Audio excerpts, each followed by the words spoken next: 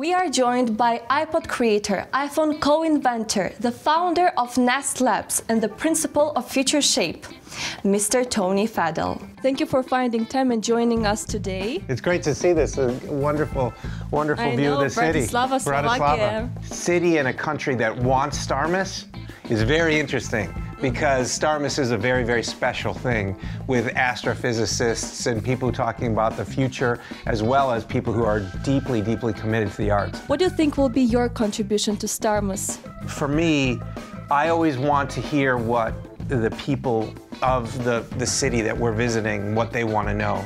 And so what I've been hearing a lot about is people are concerned about and both optimistic and also very pessimistic about AI. What would you like people to really take with them after the festival? We created the world that we live in and if there are issues, we can create the things to fix those issues. Mm. It is really inspiring for young generation. I agree with you. You know, when you see astrophysicists being world world uh, stars at uh, uh, at music as well, and vice versa, uh, you see you know uh, you see that at Starmus, and that's very unique.